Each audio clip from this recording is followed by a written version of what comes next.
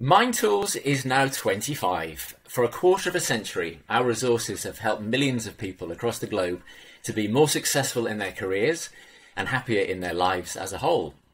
As part of the 25th birthday celebrations this year, we're delighted to bring together the co-founders of MindTools, James Manktelow and Rachel Thompson Manktelow, and our current CEO, John Yates, to talk about MindTools and the e-learning industry, past, present and future. We're now part of the Emerald Publishing Group, and through Emerald Works, we continue to take MindTools resources to new people and organizations around the world. We're also adding to the products and services we offer, and there are big plans for the future. But where did it all begin? How did MindTools develop into the trusted brand it is today? And what might be in store during the next part of the MindTools story? So a very warm welcome to James Manktelow and Rachel Thompson, who can take us back to the beginning of MindTools back in 1996. And also to John Yates, our CEO at Emerald Works, who's responsible for taking MindTools on the next stage of its journey. So I suppose, first of all, we should say we haven't got a cake, sadly, but happy birthday. It's 20, 25th birthday celebrations. So to all of you, how does that feel to be celebrating this significant milestone for MindTools? Maybe we should start with you, James, as you were there on the first day. How does it feel to be 25 now for MindTools? Fantastic and very uh, scary that it's 25 years on. Um, uh, it feels like yesterday, and uh, I think uh, I'm now looking at my grey hairs and I'm thinking that's where the grey. I don't mean that, but uh, yes.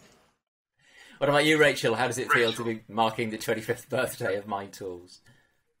Yeah, no, it's really it's really nice to to be able to celebrate that and come back to MindTools, we haven't we you know it's two years since we we um, left the business, and it's really nice to be able to come back and sort of reflect on it together and think about the future, what the future holds now. Yeah, we're delighted to have you back. And what about you, John? How do your feelings compare with those as we celebrate MindTools at 25? It's just it's just lovely to, to be in a position to celebrate with with MindTools founding team. It really is. I'm in a, in a really privileged position to be in this discussion today. 25 years is a really wonderful achievement. So, uh, really looking forward to this conversation and, and proud to be uh, to be in the presence of James and Rachel to celebrate the event. Yeah, no cake sadly, but maybe at some point we'll get into the same room together and share a cake. That would be very nice but it's nice to have this uh, virtual gathering for the MindTools birthday. So let, us go back to the start then, to the very beginning. And for James and Rachel, where does MindTools start? So MindTools came out of my first career, first career uh, which was um, in a fintech, where I started in 1989, straight from Bristol University, where I think, uh, John, we, we crossed over, uh, possibly. I'm not sure we met there, but uh, at the same place. Uh, and over the next um, 10, 15 years, I sort of worked my way from being a trainee developer up to the board, first of all as production director and marketing director. 99, 2000, um, I did the MBA at London Business School. That's where I met Rachel. Um, MindTools started because uh, in 1996 I just run across this wonderful th- new thing, which was only 12 months old, which was the World Wide Web. Um, at the same time that I was learning to be a manager. Uh, and at that time, um, there was very little around on how to do that. It was sort of like scattered articles here or the odd sort of slightly strange book there. Um, and there was no sort of coherent central resource. So I started blogging about the skills I was learning then. Um, and that essentially was the start of it all. Blogs didn't exist until a few years later, but that's the way of thinking about it.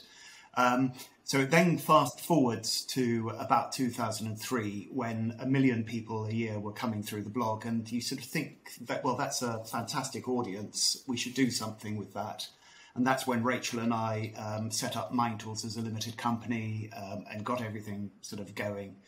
Um, first six months were very much about the sort of behind the scenes, uh, setting everything up, uh, writing the sort of core articles, the, the core resources, um, setting the tech up. And I have this very strong uh, memory, this very good memory hmm. of the, the night that MindTools launched uh, was in the roof of our house in Wimbledon Park. Um, and uh, sitting there with everything ready to go, opening a bottle of champagne, and then Rachel clicking the but- mouse button to uh, start the upload.